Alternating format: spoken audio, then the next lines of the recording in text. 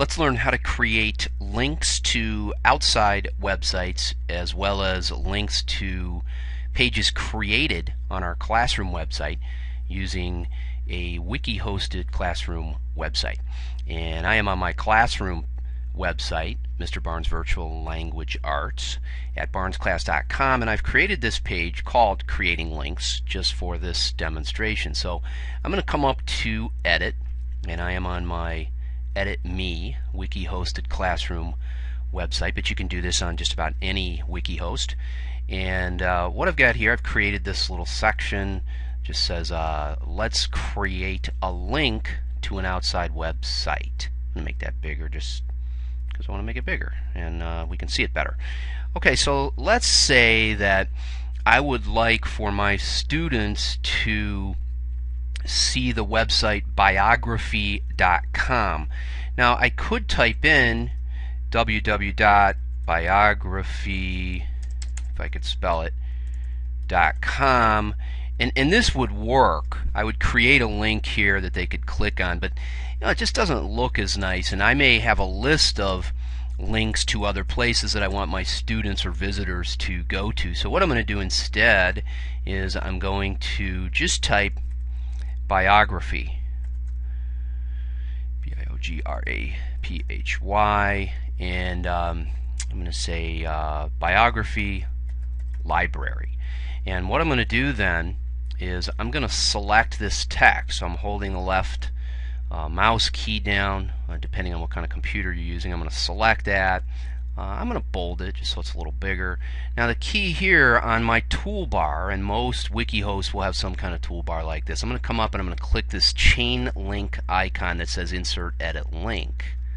Okay, now what I want to do is I want to type my link uh, unless I have the site open, which I do. So I'm, I'm just going to go to biography.com, which is what I want. I'm going to copy the web address that I have there. I just right click my mouse and, and click copy. And now I'm going to go back and where it says link URL here, uh, I'm going to right click again and I'm going to click paste. Now if I want my students to stay on my site and I want this to open in a new window, I can come to targets and I can click there and I can just click on open in a new window and, and you'll see that's kind of nice. So I can click insert. Okay, so now I'm going to save and close. And what I've got is biography library and I click on that and it opens and that opened in a in a new page because my Barnes class site is still open over here. Alright, so now I'm going to go back and I'm going to create uh, a link to a page I already have on my site and like I did before I'll just make this bigger so you know we can see it looks like a, a heading there and now I'm going to uh, a page I have created on my site that I want to lead my students to.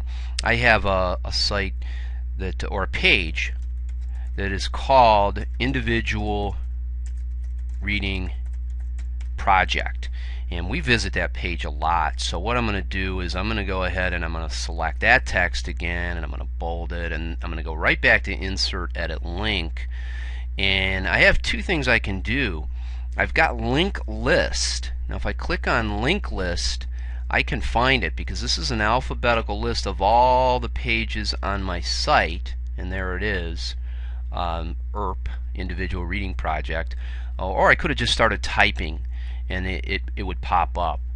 And I want that to open in a new window as well. And I'm going to click Insert, and I'm going to click Save and Close. And now when I click on this link, Individual Reading Project, or my students do, they're taken to my Individual Reading Project guideline page. And uh, that is creating pages on a wiki host, creating links to pages and creating links to outside websites in five minutes or less.